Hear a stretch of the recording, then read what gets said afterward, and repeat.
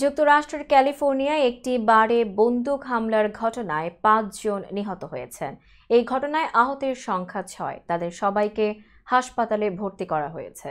বৃহস্পতিবার এক প্রতিবেদনে এই খবর দিয়েছে সিএনএন। প্রতিবেদনে বলা হয়েছে, যুক্তরাষ্ট্রের পশ্চিমাঞ্চলে ক্যালিফোর্নিয়া অঙ্গরাজ্যের অরেঞ্জ কাউন্টিতে একটি বারে এই হামলার ঘটনা ঘটে। অবসরপ্রাপ্ত এক আইন প্রয়োগকারী কর্মকর্তা ওই বারে বন্দুক হামলা করে। তার গুলিতে বারে আসা পাঁচজন নিহত হয়েছেন।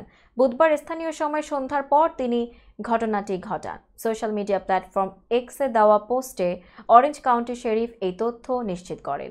তিনি লেখেন, গোলাগুলির ঘটনায় ট্র্যাবুকো ক্যানিয়নের কুকস কর্নার নামে একটি বাইকার বারে একাধিক প্রাণহানির ঘটনা ঘটেছে।